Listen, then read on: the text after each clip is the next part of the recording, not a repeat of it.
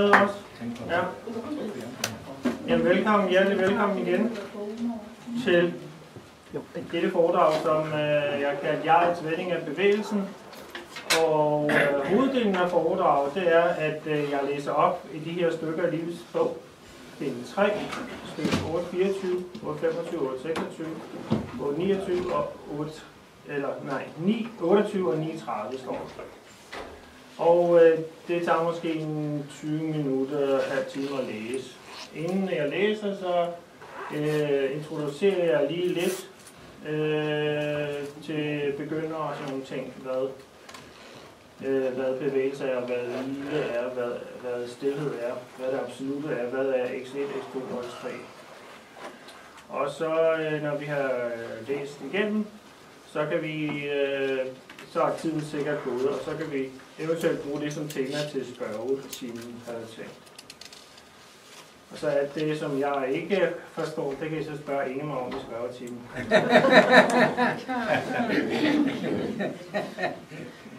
Nå, men øh, altså vi har den guddommelige verdensplan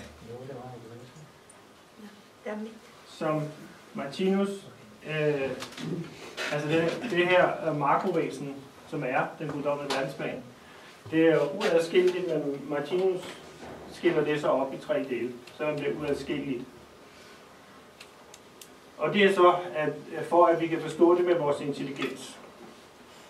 Vi har x1, x2 og x3. Det absolute, altså jeget, det evige, evige skabeevne og det skabte. Vi har stillheden, og så har vi bevægelsen. X3 er det skabtes verden, er bevægelsens verden. Bevægelser har en begyndelse, en kulmination og en afslutning. De begynder i hjertet,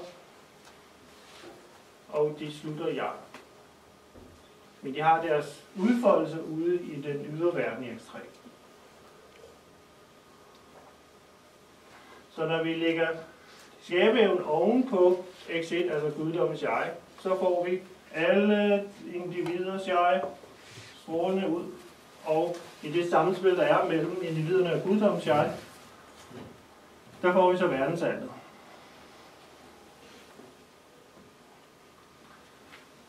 Med de seks grundenergier, instinkt, den røde farve, øh, tyngde, den orange, følelse, den gule, intelligens, den grønne, intuition, den blå, og øh, sal, øh, øh, hukommelse, den indigo, indigo. Så hver farve har jo to aspekter. Det var så energiaspektet, jeg lige sagde. Det andet aspekt det er så rige aspektet, livszone-aspektet, det vil sige den røde farve er planteriget, orange er dyreriget, så har vi overgangen fra dyreriget til det rigtige menneskerige, som er den gule farve, den grønne farve er visdomsriget, den blå er den guddommelige verden, og den lyse indigo er salighedsriget, som er den indre verden. Der er ikke nogen ydre manifestation i salighedsriget. Vi, lever, vi oplever 100% i vores egen personlige indre verden i salighedsriget. Hvis vi så øh, tager et væsen ud, altså en kugle øh, af dem her lyskugle, ikke? Siger vi, hvis vi forestiller, at vi har en, en menneske her, så tager vi det ud, og så har vi det her levende væsen. Vi har igen x1 oppe i toppen, stillheden, den evige skabeevne x2 og det skarpe x3. Altså stillheden, det absolute, hvorfra bevægelsen udgår. Så har vi alle bevægelserne her i x3, og så går de tilbage til stillheden. Bevægelserne er det relative faciter, og det absolute er hjertet det evige. Når man laver kosmisk analyse, så ser man fra det absolute udsigtspunkt, Guds eget udsigtspunkt, det evige, og så ser man på det relative. Hvis man ser med det relative på det relative, så bliver det ikke en kosmisk analyse. Det er det, der er forskellen på naturvidenskab og åndsvidenskab. Åndsvidenskaben, den den bruger udsigtspunktet fra det absolute og ser fra det absolute, fra det faste punkt, evigheden, og så ser den det relative. Hvor naturvidenskaben, det er meget med at måle og sammenligne det med det relative, der ser det relativt. Det der med bølgefunktionen, jeg husker fra filmen, der er en bølgefunktion med dobbeltspalte eksperimentet. Når man ikke måler, så ser man bølgemønstret øh, på pladen ikke? gennem de to spalter. Hvis man begynder at måle på det, så ser man kun partiklerne. Så ser man det relativt. Bølgefunktionen, det er der, hvor alt er muligt. Alle sandsynligheder er stede der. Men når vi ligesom begrænser os til et måleapparat, som kun kan tage et vist spektrum, så øh, ser vi kun relativt facit, altså partiklen, og ikke bølgefunktionen.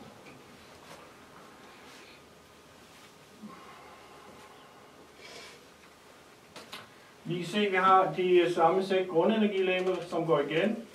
Vi har instinktlæge med den røde, tyngdelæge med den orange, følelseslæge med den gule, intelligenslæge med den grønne, intuitionslæge med den blå og hukommelseslæge med den lyse indigo.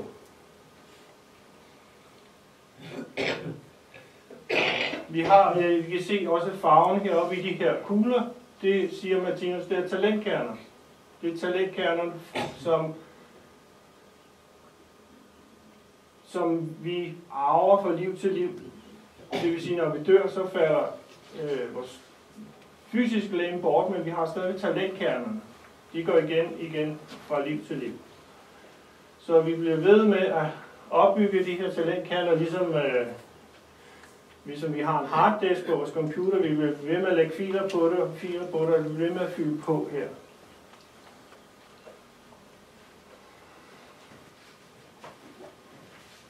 Han kalder dem også spiralcenter, talentkernerne, spiralcenter.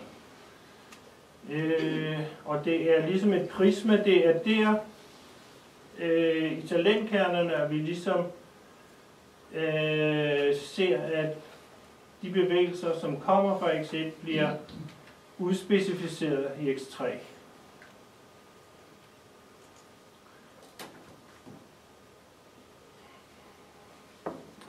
Her har vi så øh, evighedslæmet. Igen har vi x1 i midten, altså jeget, det evige. I kan se, det er symboliseret ved en trekant, det er det levende væsen. Øh, altså med x1, x2, x3. Vi ser strålekors, som symboliserer den højeste ild, altså det seksuelle princip. Afgivelse og modtagelse af energi. Ifølge Martinus er alt jo afgivelse og modtagelse af energi. Alt er det seksuelle princip. Øh, vi ser, hvordan bevægelsen går fra stillheden, det absolutte, jeg, og så går den ud i, for, tager den her for eksempel, bevægelsen går ud og går tilbage til jeg. Altså alt, hvad vi sender ud, kommer tilbage. Og der er nogle kredsløb, som tager mange liv, så er der nogle kredsløb, som tager måske nogle år, og så er der nogle, som tager måske nogle minutter eller sekunder, som er herinde, som vi ikke kan se. Men alt, hvad der kommer fra jeget, går i kredsløb og går tilbage til jeget. Det, der bliver interessant nu, det er, hvad sker der med bevægelsen, i, når den vender tilbage til jeget? Og det er det, vi begynder at øh, prøve at læse noget om og komme ind i mere detaljer, for jeg er også selv ved at lære det. Jeg, jeg forstår det ikke helt. Så jeg er ligesom på jeres niveau, jeg er ved at lære det mig, mig selv også. Jeg synes, det er en god proces, at man læser, øh, hvad Martinus har skrevet om det. Vi er nu kommet så langt i vores forskning, at vi har set, at jeget er en virkelig realitet, og at den eneste funktion i hvert levende væsen er dette jeg, vending er bevægelsen eller energien. Da denne jegvending af energierne er en absolut nødvendighed for enhver form for oplevelse af liv, bliver nævnte vending således også en uundværlig realitet i livets eksistens. Vi vil derfor kalde samme vending for livssubstans nummer 6. Nu må man ikke tro, at denne jegs vending af bevægelsen eller energien er helt det samme som den, en gummibolds tilbagevending fra en væg eller mur, den er kastet imod, repræsenterer. Jeg er ikke en død mur, og bevægelsens passage frem imod og tilbage fra dette er ikke slet så direkte og lige til som gummiboldens bevægelse imod muren og tilbage igen. Den udløser et svangerskab. Vi er nemlig her stedet for den allerdybeste analyse af princippet seksualisme, der igen danner fundamentet for alt, hvad der kommer ind under begrebet forplantning, og af hvilken arternes bestående eller tingenes eksistens igen udelukkende betinges. Jegets vending af en bevægelse eller energi oplever vi både en undfangelse, et svangerskab og en derpå følgende fødsel. Ved vort jegs tiltrækning og modtagelse af en bevægelsesart oplever vi en undfangelse. I denne bevægelsesart særlig vending, hvilket vil sige udvikling og forvandling i jegets besiddelse, oplever vi et svangerskab. Og ved denne forvandlede bevægelsesarts frigivelse eller tilbagevending fra jeget, oplever vi en fødsel. Den bevægelsesart, som jeg igennem sit urbegær tiltrækker, udgør altså sæden eller sædvæsken. Ved denne opsummering i jegets domæne forvandles den så til et foster.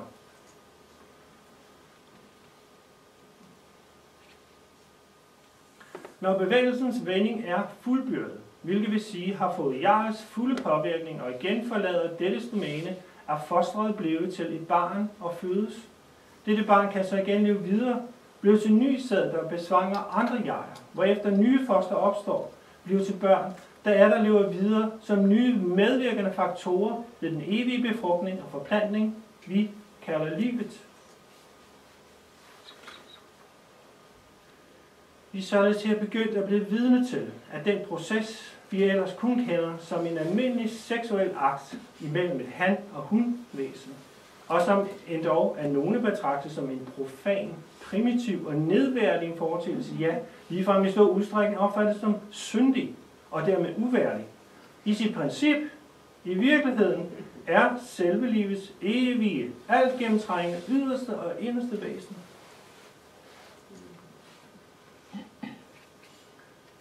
Nævnte princip er endnu mere udbredt end selve bølgetoppene på oceanet. Det er selve oceanet. Det er vandmasserne, af hvilke havet består. Undfangelse, svangerskab og fødsel er stadier, som alle bevægelsesarter i deres berøring med jeget urokkeligt må gennemgå. De er således mærkepæle i bevægelsens passage i jegets domæne. Hver eneste gang et væsen modtager en fornemmelse, oplever et indtryk, oplever en tanke, en idé eller forestilling, er det genstand for en undfangelse. Og med alle de erfaringer, det har tilegnet sig, og som udgør dets bevidsthed, er det besvangret. Og disse bliver her i dette svangerskab af jeget forvandlet til foster til nyt liv, der også iler mod sin fødsel, for igen at kunne afgive sæd blive til befrugtning eller forplantning af nyt liv for andre jeger, og således fremdeles.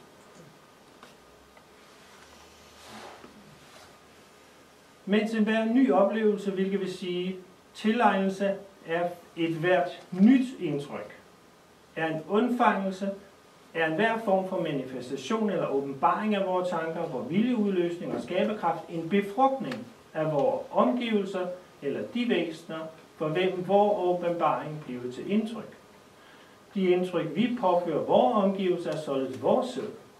Alle befrugter alle, ligesom alle bliver undfanget af alle. Vi befinder os i virkeligheden i intim, kønslig forbindelse med hele verden. Livets oplevelse er i absolut forstand en seksuel udløsning.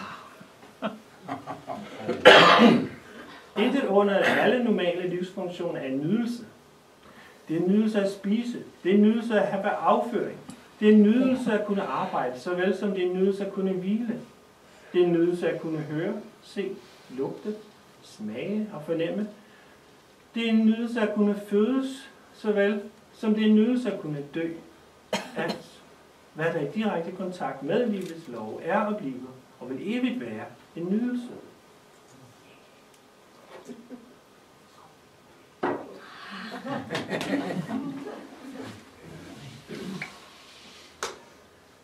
Der, hvor der ikke fornemmes, der, hvor det ikke fornemmes således, er man kun indirekte i kontakt med livslovene. Disse indirekte kontakter er som bekendt inden for et vist fysisk område nødsaget til at være smertefulde.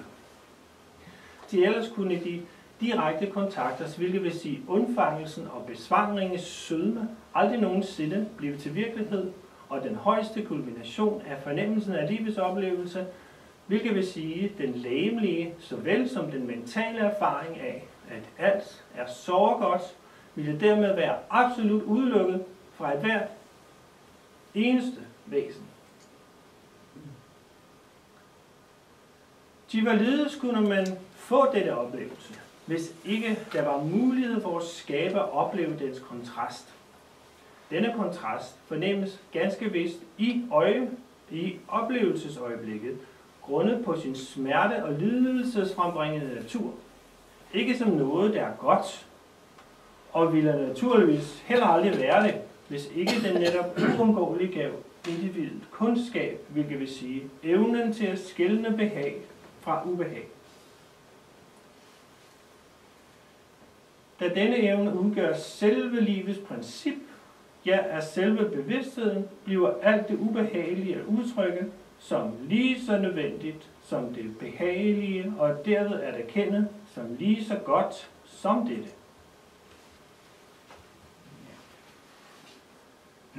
Denne fundamentale virkning af jeres energivending viser sig altså først som en undfangelse, hvilket vil sige, at jeget nødvendigvis først må modtage en udefra ekstremt kommende energi.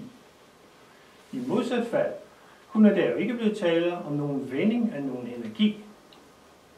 Denne energi standser altså op i grænseområdet for x1 og x2 og bliver i et lille område af denne sin bane til stillhed, eller bliver så at sige 1 med x1, hvorefter den så atter bevæger sig ud af hjertets domæne.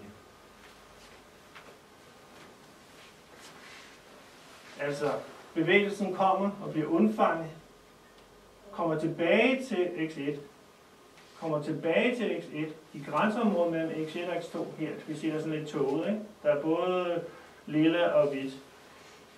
I grænseområdet her bliver den altså 1 med x1, 1 med stillheden, og så bliver den forvandlet. Det er der fostertilstanden er, ikke, af bevægelsen. Og så bliver den forvandlet, og så bliver den efter et stykke tid i x1 født tilbage ud. Så kommer bevægelsen ud igen. Og det foregår hele tiden, hele tiden, hele tiden. Simultant er der bevægelser, der går ud fra x1, ud fra jeg og kommer tilbage hele tiden. Så der er hele tiden bevægelse frem og tilbage. Ikke? På mange, altså mange dimensioner, mange grundenergilemmer, altså bliver filtreret hele tiden. Kommer der impulser og informationer fra vores ydre verden, alle vores seks grundenergilemmer kommer ind i vores talent for skæbnemodtagelser. Og det går helt, hele vejen gennem polstrukturen måske, det ved jeg ikke, men op i det her grænseområde mellem X1 og X2, og så bliver bevægelserne 1 med X1. Bliver undfanget, bliver 1 med X1, kommer en svangerskabsperiode, og så bliver det født ud igen. Så den der proces der, det er den, han, han beskriver her.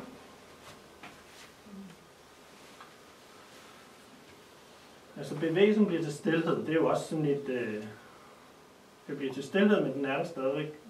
Man kan ikke rigtig forstå det, vel? Hvordan kan bevægelsen blive til stillhed? Bliver midlertidig stillhed, midlertidig 1 med x1.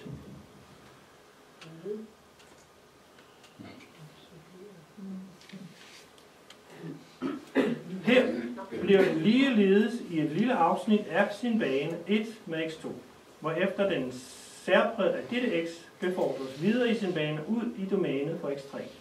Fra det øjeblik, energien har bevæget sig fra x3 ind i x2, og er blevet vendt af x1 og midlertidigt placeret i x2 igen, vil den altså repræsentere selve jegets modtagelse af 1 fra x3 eller den ydre verden kommende energi.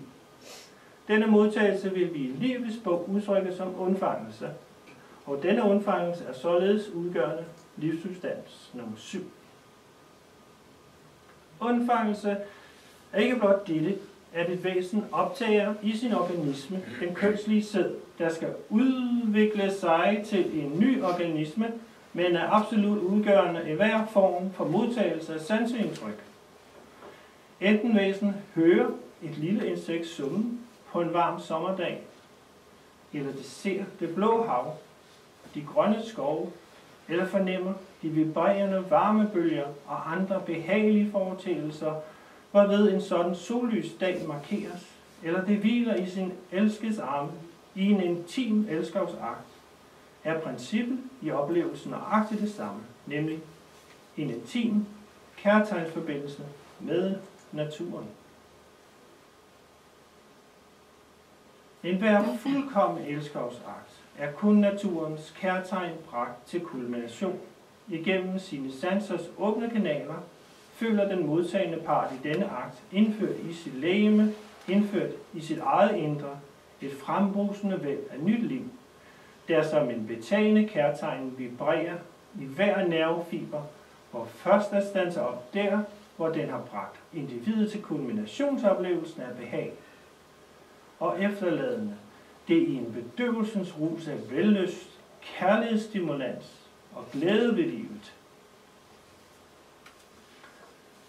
Læseren vil muligvis have indvende, at livet dog ikke blot er bare glæde.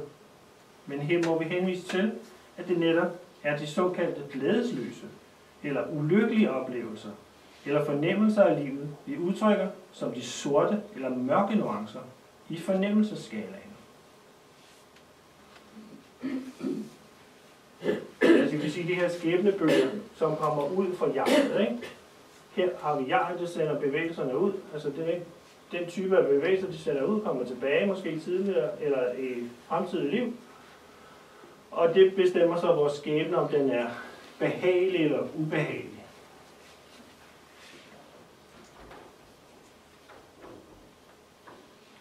Men da alle disse nuancer, som vi før påpegede, er absolut nødvendige foretagelser i oplevelsesprocessen, de uden disse hverken kunne opleve kulmination eller hvile, kan deres eksistens således i deres højeste analyse i virkeligheden kunne betyde fundamentet for enhver form for evne til at opleve en absolut virkelig lykke eller salighed. Den totale død ville herske i universet, hvis de ikke eksisterede. Da deres eksistens i sin dybeste natur således betyder detaljer i lykke eller glædeskabelsen, vil det her være synligt, at alle mørke bevidsthedstendenser kosmisk set er glædesmateriale, er glædesdetaljer, og bliver derved ligeledes kosmisk set at udtrykke som nuancer i glædesfornemmelsen. De bestemmer glædesfornemmelsens eller livsoplevelsens grad af kultur, kolorit, smag og farve. Altså, det er jo kontrastprincippet, han taler om. Altså, hvis vi ikke har oplevet noget ubehageligt, så øh, kan vi heller ikke, øh, så har vi ikke nogen øh, forudsigelse for at opleve noget behageligt. Hvis vi aldrig har oplevet at, at miste nogen, øh, så ved vi heller ikke, hvordan andre har det, når de mister nogen. Så det er ligesom de der, de der øh, ubehagelige oplevelser, som gør, at vi får en kontrast til at, at vide, hvad der er behageligt godt, og hvad der er ubehageligt godt. Men det hele øh, hænger jo sammen, fordi hvis det ikke var det ubehageligt, så kunne vi heller ikke opleve det behagelige.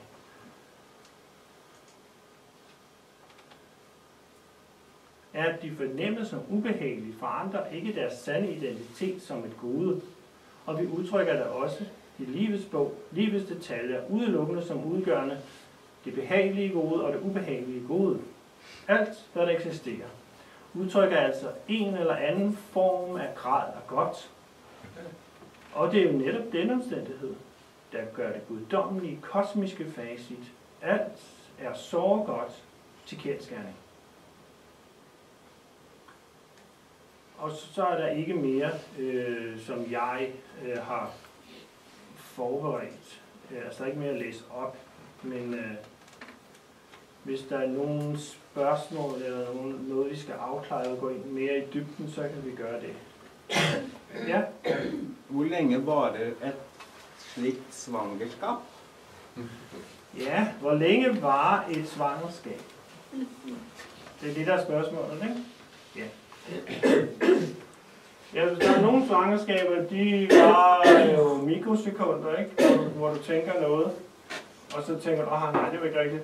Så det er jo ikke ret lang tid, en tanke, du får. Men andre, så det var, at du sender nogle ting ud, og så det, det kommer tilbage, altså det, det, det jo varierer jo. Altså det kommer ind på bevægelsen, hvor længe det skal være i jeget. Man har ikke sagt noget om, hvor længe det er i jeget, men man skal tænke, så, man skal tænke på, at jeget er evigheden. X1 er evigheden, ikke? Det evige. X, X3, ude hvor bevægelserne er, ude hvor de der bølger er, det er det timelige. Så der er jo ikke noget tid inde i det evige. Der er kun tid ude i det timelige. Så når du kommer ind i det evige, så, så, er, så er det ikke sådan noget med, at man lige, når det, den er her inde i 10 minutter. Altså, der er ikke noget tid mere. Der er ikke noget rum, det er en indre, det er, det, det er jo noget, som er det er udefinerbart, umanifesteret, så det er derfor, det er, uhu, det, for mig er det meget svært at forstå, at bevægelsen kan blive et med det. Et med den stillhed, den evighed der. Ikke? Så jeg, kan ikke, jeg forstår det ikke rigtigt. Og det er jo det, man skal have kosmisk bevidsthed for at forstå fordi så ser man det jo fra evighedens perspektiv. Så medmindre vi har, vi har kosmisk bevidsthed, så kan vi jo ikke se, vi kan ikke se det fra, fra det evige perspektiv. Ikke? Vi kan øve os i det. Men vi skal ligesom derhen til, for eksempel hvis man uh, tror, at jeg er min krop. Ikke? Det er jo, øh, en krop er noget time. Den har en begyndelse og en afslutning. Ikke? Den var jo ikke evigt. Men hvis jeg tror, at jeg er min krop, så har jeg en, en relativ identitet. Det vil sige, at jeg er, så ser sådan ud, og sådan og sådan hårfarve og øjne, og så høj og vejer så meget. Men, men det er jo ikke en absolut identitet, det er jo ikke en evig identitet. Så hvis jeg bruger min krop til at forstå alt muligt, så bruger jeg noget relativt til at forstå noget relativt. Og det kan kun give relativ fase, det kan aldrig nogensinde give noget absolut. Giver det mening?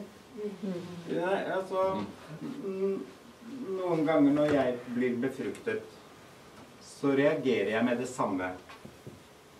Så er det min utsendelse. Men andre ganger så dveler jeg i lang tid. Og det er det jeg lurer på. Hva skjer når jeg tenker over det og dveler over det før jeg tar en avgjørelse, eller før jeg bestemmer meg for hvordan jeg vil reagere? Kan et svangerskap da vare i minutter og timer og dager? Ja. Ja. Ja, du kan gå og tænke på, hvad nogen har sagt, og tænke på det, og tænke på det, og det ligesom vokser ind i din indre verden, ikke? Og så når du møder dem igen, måske er du ikke klar til at sige noget, måske er du. Altså hvis du er klar, så fødes der noget, altså så ordene har jo det maskuline princip, ikke? Så kommer ordene ud, så fødes der noget. Det bliver stedet til den, den, der lytter godt ind i ørerne, ikke? Det er det modtagende princip, det kvindelige princip. Så bliver den, du taler med, befrugtet. Så kommer der et svangerskab, ikke? Så kan de gå og tænke på det lidt.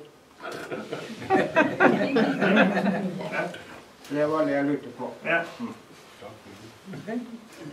Jamen, jeg tænker også i relation til det, at, øh, at kroppen er jo vores sansorgan. Ja. Altså, hvis ikke du havde kroppen, så kunne du jo ikke få den vending, for du skal jo have en sansning ind igennem Ja. øh, ekstrem, for at kan, kan komme op og få en øh, påvirkning i, i, de, øh, i, i de overordnede øh, altså i X1 og X2. Ja. Ellers, det, ellers, og det, sådan er det jo også, selvom vi forlader vores fysiske krop, har man jo stadigvæk, det er jo stadigvæk øh, udadskillet i de tre X'er. Så Ja. det er jo lige så vigtigt at have, at man bliver befrugtet igennem de sansorgan, øjne, ører, følelser og, og, Jo. og jeg synes måske, jeg kan huske, da jeg læste, at Martinus bruger meget det seksuelle som, øh, som ligesom forklaring, men jeg tænkte, det er jo ikke den seksualitet, som vi normalt tænker på. Den seksualitet er jo en helt anden form for seksualitet. Ja. Altså tænkte jeg bare. Hvem bliver det, jeg tænker mange gange på, man går fra samleje, som en indpolet seksualitet, faktisk, seksualitet, til samtale, hvor man ligesom har øh, Ja. Ja. altså modtagende princip Ja. og afgivende Ja. princip, ikke? hvor man ligesom kan befrugte hinanden på en anden måde. Ja, men øh, altså sansningen er jo, har jo forskellige niveauer, og den sansning, man får, når man kommer op i højere, højere, en højere bevidsthed, eller en, en mere udviklet, så forlader man jo de der øh, dyriske øh, seksuelle øh, stimuli. Så er det jo en anden stimuli, man får. Men Martinus tror, men det tænker jeg bare på, at den øh, forklaring er, at ligesom sporer mig ind på sex, det seksuelle, og det skal man ligesom lade være med at tænke på. Jamen, han, han siger jo, at, at det, som vi kender som seksualitet, det siger Martinus, det er en meget, meget, meget lille del af seksualismens Ja, ja, ja. princip. Jamen det er alt, Alt alt er seksualisme. så. Ja. Alt er seksualisme. Alt befrugtning. Alt sansning. Og det er jo også uadskilleligt. Ja. Øh, du kan jo ikke adskille øh, det, jeget sender ud af bølger, og så jeget selv. Der er jo ikke nogen, det er ligesom havet. Det kan man mere se på det her symbol. Ikke? Du har, altså det eneste af havet, den, den analogi, han bruger, ikke? under vandet her, ikke? stilhed, og så har du bølgerne herude på toppen. Ikke? Altså, du kan jo ikke adskille bølgerne fra havet og sådan noget. Nej, Det er jo nej, et, nej. det er jo et levende væsen. Og ligesom Inge mig sagde, i- sagde i går, oplevelsen finder jo sted i samspillet mellem de tre ekser. Ja. Ikke? Så det er sådan en helhedsoplevelse. Så når vi prøver at adskille det, så er det bare for ligesom at kunne forstå det med vores intelligens, men vi skal altid huske at sætte det sammen igen. Ikke?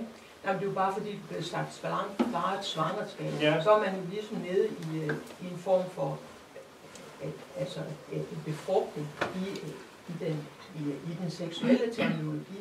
Og der tænkte det, man- det skulle man måske forlade lidt for. Det skal man absolut forlade. Ja, For det er jo heroppe, det foregår. ja, ja.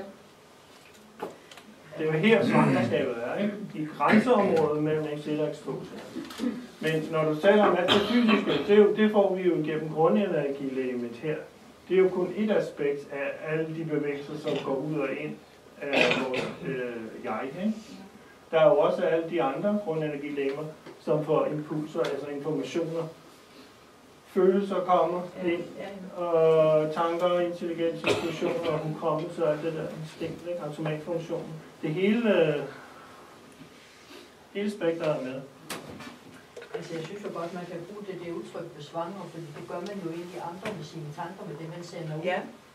Jamen, det er når også man nu det. bruger, når man Ja, nu bruger ja. det ord, ikke? Ja, men så, får du, så tænker du heller ikke, så er det jo betydning. ikke er sikkert, de kan høre det dernede. Men de, de har lidt problemer med den der, de, de der tre mærkepæle, han bruger. Undfangelse, svangerskab og fødsel.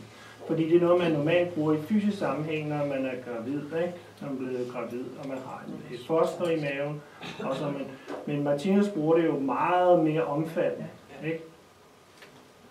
Der er tre i køen. Der er tre i køen. Hvor det mig? øh, jeg er rolig, rolig, rolig. Hvis jeg nu nævner jeg lige navnene, før jeg begynder at sige noget. Det kunne være... Jeg tror, det var Ingemar. Var det, har, har du sagt, du har ikke sagt noget, Irene, vel? Jo, det var mig, der sagde det. Du der sagde det. Det var det. Så er Det var det... det, jeg. Nu siger jeg det rækkefølge, inden du siger noget for det. Connie, og så er det Jan, og så er det Ingemar. grunden til, at jeg var så ivrig, det var fordi, det var i relation til det. Fordi at øh, min oplevelse er, at det bliver mere og mere brugt i forbindelse. Nu har de øh, øh, barslet en, en, øh, en bog for eksempel, eller en ny lov, eller en, en, en ny, så, så det er ligesom om, at det er begyndt at blive mere brugt i dagligdags. Derfor kunne jeg godt tænke mig, at der kom et begreb på, frem for at den bare var abstrakt. Mm. Så, så, så det var bare det, jeg ville sige, så det var derfor, jeg var så ivrig, fordi det var lige det, at det blev sagt. Så tak. Okay, Jan Schulz. Jamen, jeg tror, at uh, Ingemar, uh, han, han har kommentar til. Og så Ingemar. Altså, så du kommer fem mig Ingemar. Gør det. Det er dig, Ingemar. Nej, jeg tänker på det att det är inte någon tillfällighet att Martinus bruger det här sexuella termer för, för att förklara livsupplevelsen. För det är inte så att det, det är något helt annorledes. Det är inte så att, att det är helt andra energier eller något. I verkligheten visar han både den, den, eh, Eh, den sexualitet som vi känner är i verkligheten en spegelbild av en kosmisk princip. Eh, Så, så, så man ska inte tänka sig att det är något, något helt annat. Livsupplevelsen är i verklighet eh, helt besläktet med den sexualitet som vi känner. Men eh, den sexualitet som vi känner, den ska ju bli mycket större och mycket rikare.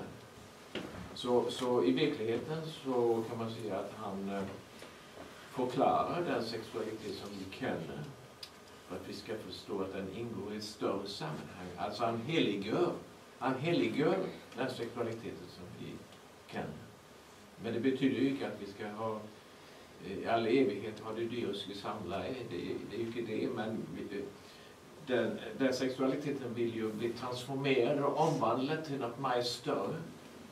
Till allkärlighet som, som ett uttryck för allkärlighet. Och det är själva livsupplevelsens princip, det är alltså en gudomlig struktur i det hela. Ja.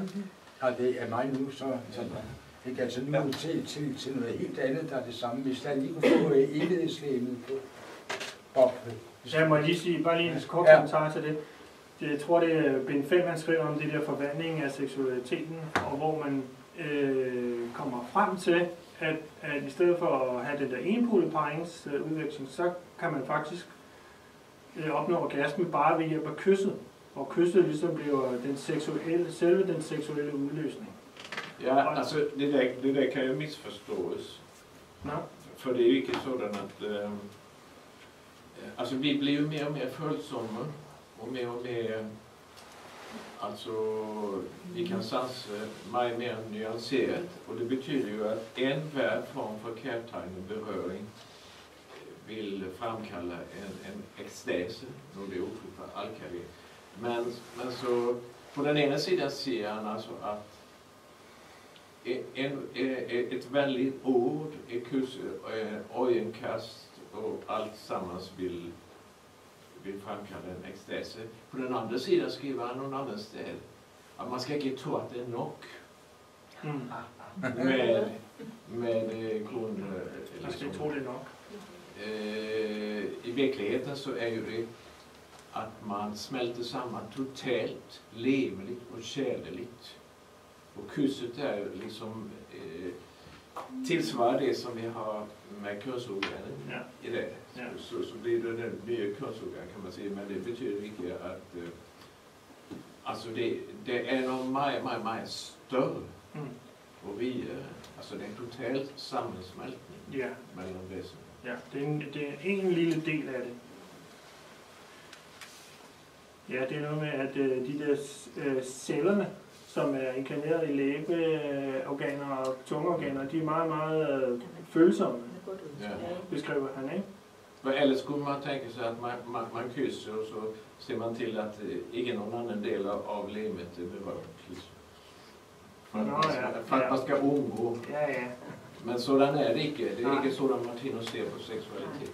Nej, men jeg tænker også, at tungen er utrolig tæt på tankerne. Ja. Fordi hvis du har tungen, det er jo bare, altså tale er jo bare verbaliserede øh, tanker. Det er jo bare tanker, vi siger højt, ikke? Og det er jo tungen, som gør, at vi kan høre ordene og munden, ikke? Så vi er ligesom meget tæt på det der tankens princip. Tankeverden. Och på det åndliga planet så smälter man totalt samman. Där finns ju inte några gränser. Alltså på det fysiska planet, där, där, där finns ju en gräns för, för, för det man kan inte stöta helt i hinanden för, för livet tar emot. Ja. Men, men på det åndliga planet, där smälter man totalt samman. Det blir ju som, som eh, vad, vad säger man, eh, fyrverkeri, vad heter det på danska? Ja, fyrværkeri. Fyrverkeri. Ja, så, så alla kan glädjas åt det. Det blir blir inte något Ah. skjult och något hemligt. Nej, det er ikke som man går ind i så, Så all, all, alla har sexualitet med alla Ja, på det åndliga planet. ja. Hvad sagde du? Alle hvad? Alla har nu skal du ikke tænke Alle på, har det seksualitet med alle. På det åndelige plan. älskar varandra. Ja, fordi, men altså, det er ligesom afregner, eller, altså, Ja, och när, när vi inte har något fysiskt leverne så blir ju det en sammensmältning av det åndliga livet. Altså vi har jo allerede her, altså vi har jo energifelter, ikke? Som Martino siger. Og det vil sige, hvis jeg er her, så har mit energifelt jo allerede inde i Jans energifelt, ikke? Det kan man godt er vi jo spiller ikke sammen. Ikke, altså hvis du lige går tilbage til evighedslægen. Det er det foregående, tror jeg. Ja. Hvordan kan det være, at det er delt op i seks afsnit? Er det øh, for at forklare de seks legemer? Hvordan får du 6? Jeg får 12. 1, 2, 3. Nej, nej, nej, nej. Ikke, altså, Seks. hvis, hvis, hvis, hvis, du nu tæller her, Ja. med den der, se, at den starter her. Ja. 1, 2, 3, 4, Nå! 5, 6. Ikke? Jo, jeg ved det ikke. Man kan jo gætte på, at ligesom når vi drømmer, så går vi jo igennem øh, alle de seks øh, tilværelsesbaner, og også ligesom når vi dør, går vi igennem de seks tilværelsesbaner. Man kunne forestille sig, jeg ved det ikke, vi må, vi må spørge Ingemar, om han ved det. Jeg ved det ikke. Jo, det, det har noget med, med det der energier att göra. Alltså han, han talar ju om tankens kretslöp och, och, men hvordan man ska förstå det, det, det förstår jag inte. Okay. Altså, jeg ved det jo slet ikke, men det jeg tænkte på, det var jo, at når en tanke gik ind, så gik, går tanken igennem alle ens øh, talentkerner. Altså de der øh, seks farver der. Altså det, øh, det er jo ikke bare tanken, det er jo også følelser, det er, at det går igennem det hele, måske. Jeg ved det ikke. Altså det, øh, Det er da et om, ja, det er et bud. Ja, øh, jeg forstår det ikke selv, men øh, hvis vi kigger på altså den her, det levende væsen, et, øh, det der bestemmer, øh, hvad der kommer ud af jeg, det er urbegæret. Urbegæret er det, der er tættest på x1, uden at være x1 selv. Urbegæret, det er vores sult efter oplevelse, af nye oplevelser. Ikke? Det er det, vi længes efter at tiltrækkes af. Det er jo det, der betinger, at der kommer en bevægelse i gang fra jeg, som går ud i den ydre verden. Ikke?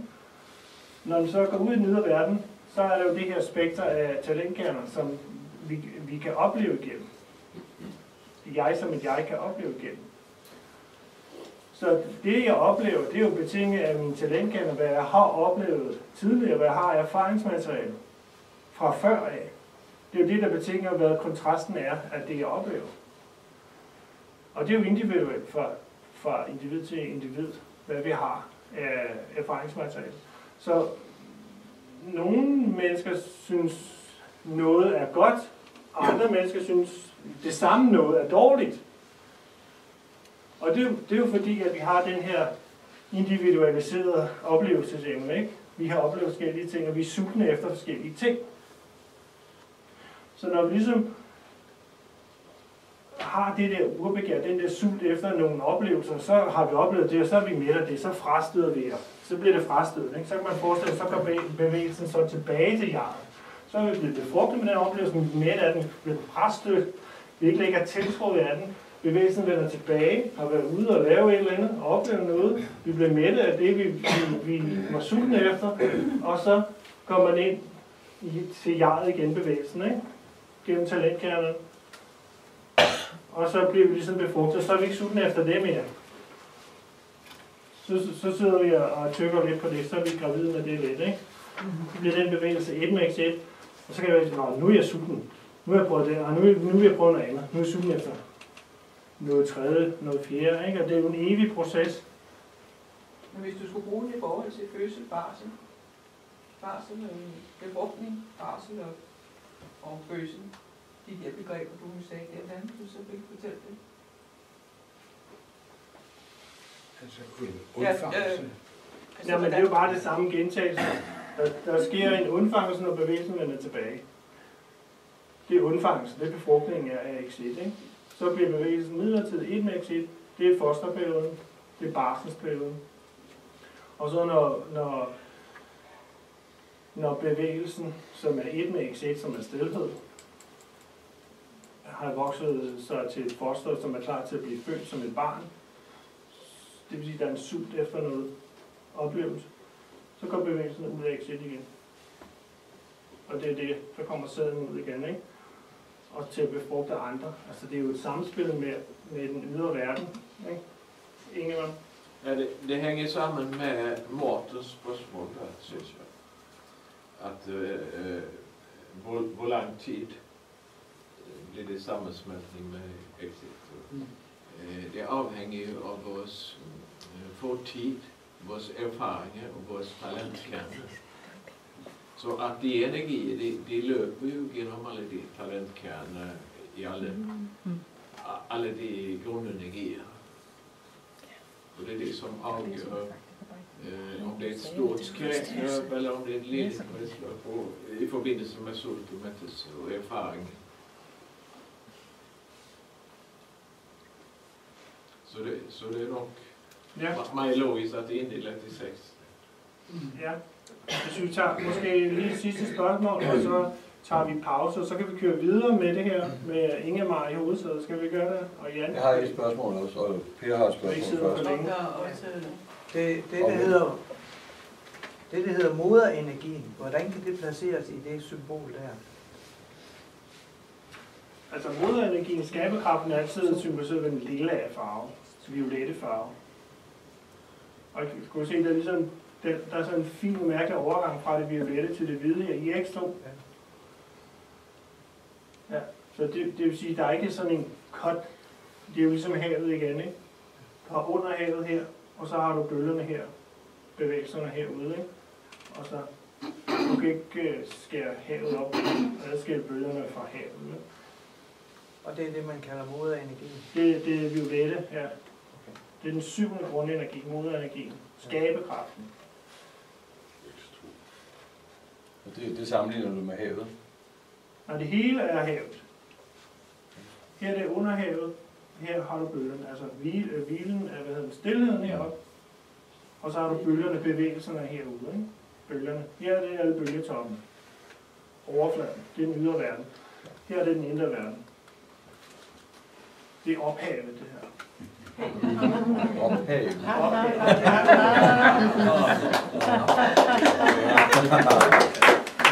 Så det, vi holder, hvor længe skal vi holde pause? Jeg lige stille et spørgsmål, inden vi holder pause? Og Hanne skulle også have et.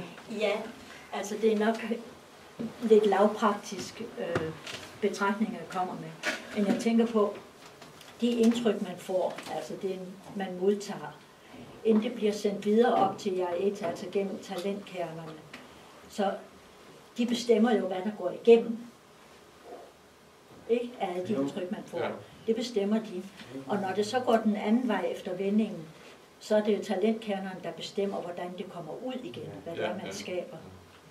Jo. Mm. Så det er altså en udveksling mellem at modtage også og give en udveksling. Ja, og det er for at få det ned ja, på og det er sådan, udviklingen sker, fordi så finder vi ud af, når, hvad sker der med det, jeg var sulten efter, så finder jeg ud af, hvad, når det, så sker der sådan og sådan, så kommer det tilbage, men så er vi blevet kloge, så er der blevet opbygget erfaringsmateriale i talentkernen, så er vi sultne efter noget andet, fordi nu har vi nye erfaringer, ikke? og så så fremdeles.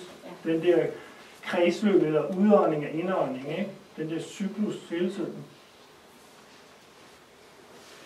Var det, der er to. Du, fik du spurgt noget? Nej, men jeg vil godt sige, at jeg synes, Bob han er så fantastisk til at forklare de ting her, at han burde øh, komme hen på universitetet, og så få det til at blive en ting af universitetet, så unge mennesker kunne komme der og blive undervist. I skal med på et tankeeksperiment, eller fru Hansen. Den sorte streg, som Martinus af pædagogiske grunde har sat ind, er for mig det, der er givet af Gud. Jeg kan hverken gøre til eller fra. Det er udstukket af Gud. Farven er også udstukket af Gud. Den har Martinus af Gud lavet sig inspireret af. Så Martinus og Gud har bestemt, at instinktet er rødt, og at det fylder så meget. Stregen er givet af Gud, men mængden og kvaliteten det er min fortjeneste. Er vi enige? Det er mig, der bestemmer kvaliteten fra mængden. Her. Jeg skal ikke sige andet. Ja. Det må være dig. Men øh, den, den er jo bestemt af, hvad, hvilke erfaringer du har. Så det, det er jo ikke en viljespørgsmål, det er et udviklingsspørgsmål. Så du kan ikke bare bestemme, at nu vil jeg være verdenskandidat. Det må den forsamling af profer, der har totalt tjek på. Det var jo underforstået. Det har, det har ikke spor, det har ikke spor med vilje at gøre. Den er jeg fuldstændig glad på. Men længselen i mig, længselen er drivkraften. Ja. Og hvis jeg skal have instinktet lagt på hylden, fordi jeg dyrker intelligensen, fordi jeg tror, det er den vej, jeg skal, så er det noget med vilje at gøre. Jeg kan ikke bare sige til instinktet, nu skal du dø. Nej, jeg skal helt klart ville lade være at handle mere instinktmæssigt end højst nødvendigt, og så køre over på og koble forstanden på, og så håbe på, at der bliver noget fornuftigt ud af det. Jo, men altså, øh, instinkten, det er jo automatfunktion. Så det kører af sig selv, ikke? Det er bare fordi, vi er normalt i det timeliv, hvor jeg ofte færdes, er meget til det der med det primitive og instinktet. Det var derfor, jeg valgte at bruge det. For selvfølgelig ved jeg, at jeg får aldrig nogensinde fodfæste i en ny inkarnation i et nyt spiralkredsløb uden instinktet, for det er det eneste, jeg har brug for. Så det er ikke for at nedvurdere instinktet, men som det er nu, der vil jeg hellere handle intellektuelt end instinktmæssigt. Mm. Okay? Ja. For flygt og kamp, den er jo ved at være overstået. Ikke? Ja. Jeg lever ikke et sted, hvor det handler om flugt eller kamp. Vel? Jeg lever et sted, hvor det handler om at sige, at menneskene er ikke nær så farlige, som da jeg var barn. Er godt. Jeg tror, jeg tror lige, jeg vil komme med en impuls. Han, han talte der med jegets vending om, det er ikke, han skriver, det er ikke som en bold op ad en væg. Han skriver, det er ikke sådan, vi spiller bold op ad en væg og får den tilbage. Jeg sidder og fik den impuls, at det er jo det seksuelle princip, det er ligesom en, en jonglør, der står og kaster en bold op, og så når den vender, så står tiden jo helt stille, fordi øh, deroppe, der er hastigheden absolut 0. Lige det øjeblik, den vender, den milli, milli, milli, og så vender den, det er det maskuline princip, du kaster bolden op, så står den stille, bliver befrugtet op, så, så modtager du den, det er det feminine princip. Ja. Det synes jeg er meget logisk at forstå. Så jeg er din hånd. Det, det, det, det spurgte jeg ikke om. det ved jeg ikke, men jeg synes bare, det er meget det var på. Kan du forklare det videre, Bob? Det der eksempel. Vending, Hvis du bruger den analogi, Ja. altså hvis du har en bold, og så vending, ligger du, øh, så kaster du den, og så går den op i luften, Ja. og vender, Ja. og så tilbage i, i den samme hånd, som kaster den, sådan der, ikke? Jo, for eksempel. Så er jeget her. Ja. Og jeg må være oppe. Nej, nej, det er hvor den Nej, er. det er det ikke. Jeg er overalt. Ja, det er det. Det er overalt. Bevægelsen udgår jo fra hånden, ikke? Ja, det er langsom gengivelse. Kaster den. Så Det er kommer det er fra ned igen. Og så bliver jeget undfanget af bevægelsen, der kommer tilbage. Jeget send, det er jo jeget, der sender bevægelsen ud. Ikke? Det er hånden, der sender objektet ud, ikke? Og så vender den tilbage. Hvis vi forstår den på en anden måde, så... Så det skal være på en anden måde. Jeg er jo stillhed. Hvis, Det er jo det, når den er i toppen. hvis du kaster den op, og så lige her, Så bliver den undfanget. så er der ikke nogen tyngdekraft her, og så falder den ned. Ja. Så skulle det være exit heroppe. Ja, det tænker jeg. Du sagde jo, at tiden står stille, når bevægelsen står stille. Den står jo absolut stille i toppen, når den vender. Det er bare enormt lille. Altså, tidspunktet er jo uendelig lille. Det er jo i evigheden, når den står stille. Får en befrugtning lige hurtigt. Der er to, der er to nu. Jeg tror, det er Jacob først og, og Market bagefter. Jeg er ikke egentlig sikker på, at din analogi holder. Nej. Fordi øh, jeg har lært, at der er ikke noget, der er linje. Altså, det er altid i buer, det er i cirkler. Øh, og, og, og at, at den skal være absolut nul, det forudsætter at gå lodret op. og går op og ned. Og det er også det, jeg tænkte, den går Og det gør den ikke. Den gør cirkulær. Derfor bliver det ikke noget på. Det er jo kredsløb. Ja. Heller ikke, når den drejer, hvis den drejer rundt. Det er jo jeres venner, vi taler om. Nå, det er bare for at sige, at, at, at jeg mener, at det er et af symbolerne, der viser, at alting er... Der findes ingen lige linje. Nej, og det er en forudsætning for, at din analogi holder. Ja, det ser. Er det Market? Jeg brygger bare videre. Jeg brygger bare videre på det her. fordi, fordi det her, det er jo så ekstremt. Det er jo indtrykket. Og jeg modtager indtrykket. Og så jeg sidder op i stillhed og vender, og så sender udtrykket ud. Det er sådan, jeg forstod. Ja, sådan har jeg også forstået Sådan- det selv. Ja. Og så den der med, at det er cirkulært, altså det, det er jo simpelthen bare selve hvad skal vi sige, formationen, vi nu lige bruger metaforen på, at det bliver sådan op og ned. Ja. Men det, cir- cir- cirkulationen går jo også ud i, i, i X3, altså Jo, jo. tilbage det der. Hvis det er sådan, I forstår det, så er det jo godt for jer. Uh, Jan? Øh, to, to gange om året ved øh, sommersolværv, som vi lige har passeret, og vintersolværv. Sommersolværv den 21. i 6. Vintersolværv den 21. i 12. Men vi fejrer først Kristus fødsel den 24. 23. 24. og Sankt Hans den 23. 24. Hvorfor? Fordi vi ikke kan måle solens bevægelse. Solen står stille, bevæger sig faktisk ikke på himlen. Den kan ikke måles. Den kan først måles den 24. Og det er jo noget analog til den der bold der. Jeg kan ikke komme videre i tanken der, men... Uh, Toril? Eh, Jeg gikk på studie, i studiegruppe med Sven Ole for en del år siden. Og jeg, ja. Prøv at stå op med Toril, så kan de høre det bedre. Jeg gikk i studiegruppe med Sven Ove Rossen for en del år siden om jeg, og om vendingen. Han var heller ikke trygg på at det han underviste om var riktig, men øh, han mente at øh, energiene gikk med som i et åttetall. Gikk gjennom X1 og liksom ut igjen, og så inn i X1 før det gikk tilbake ned i X3. Spændende. Altså, et 8-tal, sådan der. Så der har du et 8-tal her, sådan der. Nej, nej, ikke.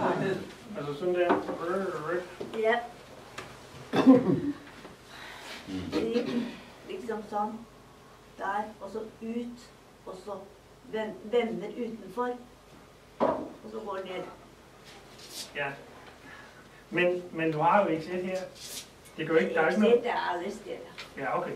Exit er alle steder. Ja. Så på symbolet så er alle steder symboliseret ved her. Ja. ja. Så der er ikke noget... Øh, du kan ikke komme uden for alle steder, vel? Så alle steder er her. Den her trekant symboliserer alle steder. Han er altid at Kan han ikke bare der. sige Så Øh, ja, ja. Så går Når det bevægelsen er ikke. 1 Nej, med så X1, så er den her, ikke? i grænseområdet mellem X1 og X2. Nej, det har faktisk ikke. Der er jo ingen bevægelse i Exit. Nå, men det er det, der er svært at forstå. Den er midlertidig 1 med X1. Bevægelsen er stille. Det er derfor, det er svært. Jeg kan ikke forstå det. Fordi ja, det er jo det, sagde, hvordan kan bevægelse være 1 med stillhed? Ikke? Ja, der- Derfor så mente Sven Ove Rosen at vendingen måtte ske. Ja, der er mange gange, vi bare må sige. Ja, og det er også noget, som er. Det kan vi kun sige noget til. Jo. Jo, du spørger, hvordan kan bevægelsen gå op i stillheten? Men Martinus forklarer jo, øh, jeg ved ikke om det er i livsbok 3 eller hvor, det er, at øh, han, han stiller den omvendte spørgsmål retorisk. Hvordan kan stillheten blive til bevægelse? Og så har han forklaret det side op, side ned, øh, flere og flere sider. Og så siger han til sidst, ja det sker ikke. For det, for det er en illusion. Ah, ja. Var god. Ja. I virkeligheden, øh, så er det kun en Så er det illusion. Så er det Ja. illusion. Ja. Så det sker ikke. Men så, Ja, og jeg synes, vi skal tage, ja, jeg synes, vi skal tage den op. Ja, for vi kan ikke høre, hvad du siger. Ja, vi tager spørgerunde med at starte med det, Ja. at det sker ikke. Bevægelsen sker ikke. Ja. Ja, Skal vi det hele, ikke svæve det?